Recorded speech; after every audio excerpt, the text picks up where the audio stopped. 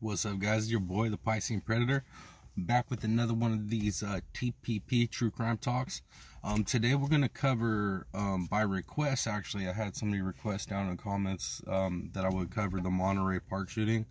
And as of right now, there isn't a 100% fact on the motive. Like, they're still not sure about the motive. We just know details of what happened. 72 year old gentleman Asian gentleman with a looks like to be um, what they're saying is a homemade silencer. Went with the automatic gun to a dance studio where there was you know Chinese New Year celebrations going on. You know there was a local park that had an all day celebration for the Lunar New Year going on.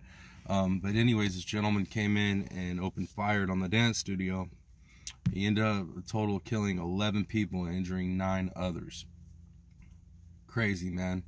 Now, what's what's crazier is the fact that that wasn't he wasn't done. He was gonna go to a whole nother dance studio and do the same thing, the exact same thing. So he's gonna hit a whole nother dance studio in another uh, city that was wasn't too far away, and he was gonna unload again.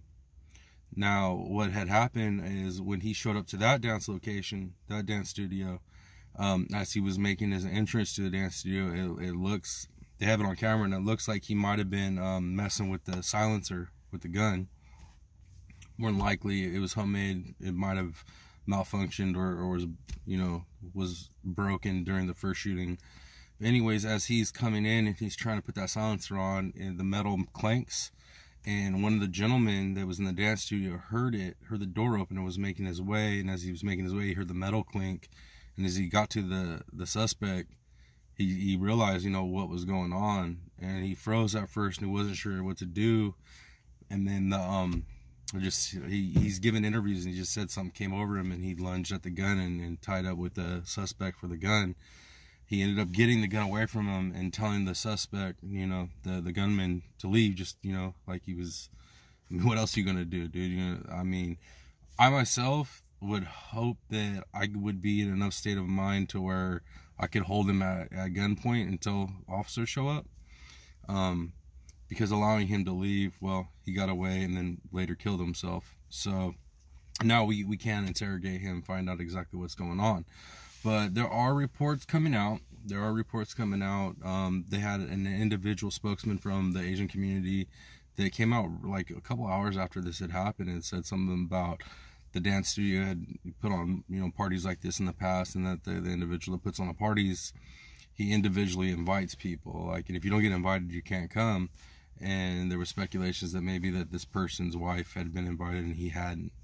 Um, now the other thing that's coming out too um, from law enforcement actually is there's law enforcement claiming that this individual had come in and put in reports trying to say that his family was poisoning him now, if we step back and look at this, right, older Asian gentleman who maybe suffering from mental health issues, believes that his family's trying to kill him. Um, he makes a homemade silencer and goes to a dance hall and opens fire on people.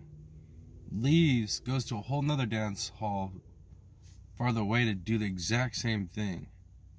Um, this this has mental health written all over it, man. It is uh it's all bad.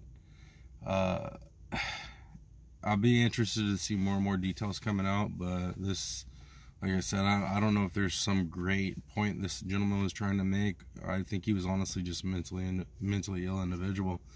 Um, it's sad there's a lot of people like that, but old age, mentally ill, there's no telling what type of treatment maybe he was being treated badly we don't know. There's like literally no good information coming out to really give you know law enforcement or anybody looking at the case any ideas of a, of a true motive. But i'm just gonna go out on a limb and, when people start talking about you know like my family's trying to kill me this and that well, it's small percentage maybe your family trying to kill you? Very very small percentage. Very very small but reality is when you start feeling like, you know, the government or your family or, you know, strangers are out to get you, it's usually, usually signs of mental health issues. Um, yeah, so I'm, I'm interested. I'm keeping an eye out on all this. It's here in my home state, so I'd really like to know, you know, what, what's going on with this case and, you know, the reasons and the whys. Especially considering that a couple days after this shooting, another shooting, very similar type of shooting, um, very similar Asian, older Asian gentleman up in um, uh, Half Moon Bay. Uh, yeah, he pulled a mass shooting as well, and I'm gonna probably do a video on that. But uh, yeah, guys, that's as much as I know about this Monterey uh, park shooting, and super sad. Prayers and love, respect all the, the family and the victims. Um, and dude, we need to get this mental health situation checked in America. It's it's uh it's what's driving all this.